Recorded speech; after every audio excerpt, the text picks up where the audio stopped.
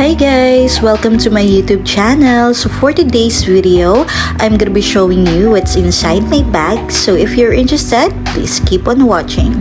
So ano ba gusto nyong atake natin dito guys? Mala Heart Evangelista? Charot!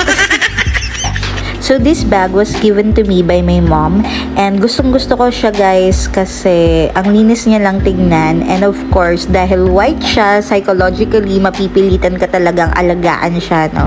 And then meron lang siya ditong mga light pink na accent and of course may touch din siya ng gold.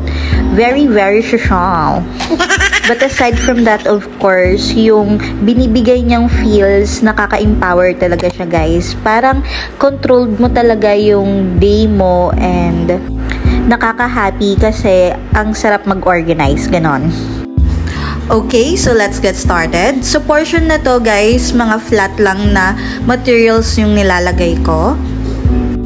Meron lang tayo ditong pamaypay kasi I have hyperhidrosis guys. No? Nakaka-hassle mag-charge ng electric fan kaya ito lang yung dinadala ko.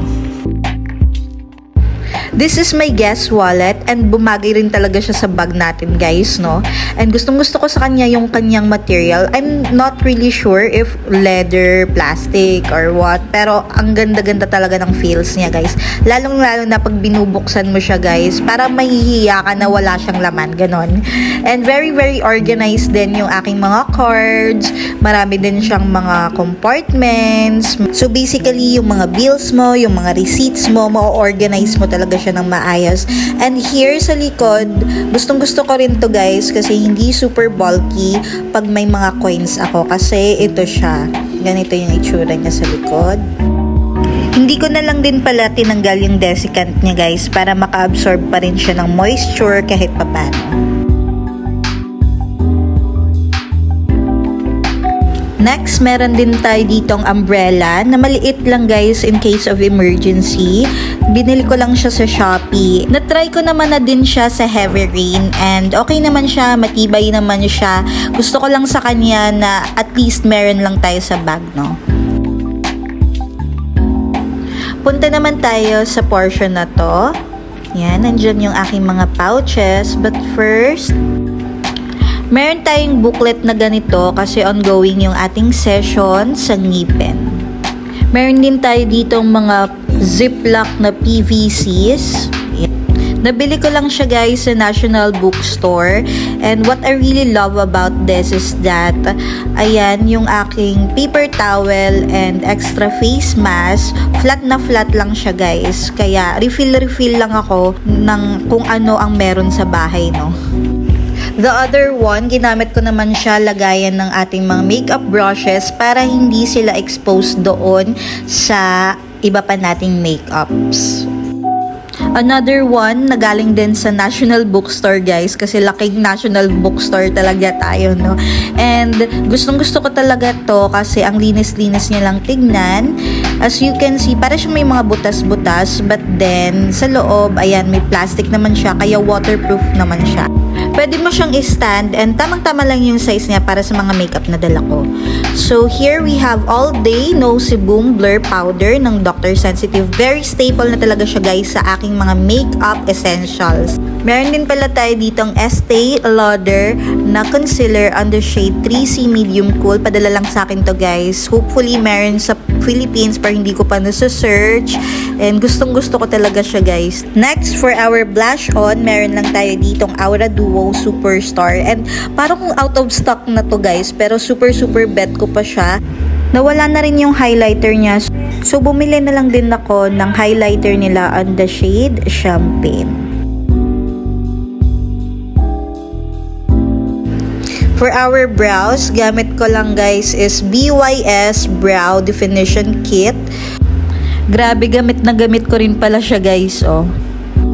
Very important syempre na mag-sunblock tayo. So, I am using this Snail White Sunscreen CC Cream na merong SPF 50, UVA, UVP, PA+++. Bet na bet ko rin pala guys yung mga ganitong lagayan kasi ang gaan niya lang sa bag. And this is the Maybelline New York Sensational Liquid Matte Lipstick on the shade NU01.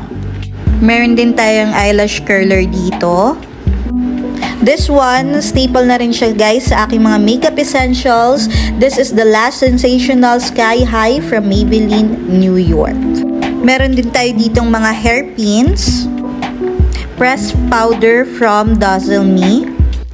If I want to go for a red lippy, nandyan yung ating Bench Beauty na lipstick on the shade Very Berry. Meron lang din pala tayo ditong BB Holic Everyday BB Cream.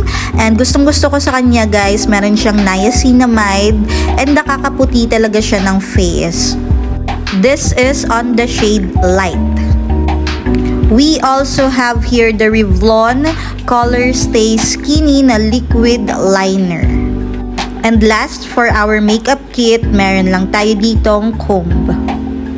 For our hygiene kit, ito lang yung ating pouch guys. Nabili ko siya sa Miniso. And nagsisi ako guys na dalawa yung nabili ko kasi hindi ko pala makikita agad kung ano yung laman niya. Kaya isa lang yung dinadala ko sa ngayon.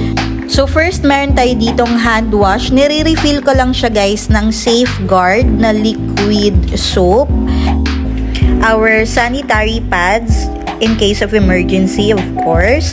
And then, meron din tayo ditong wet wipes na antibacterial wipes from 7-Eleven.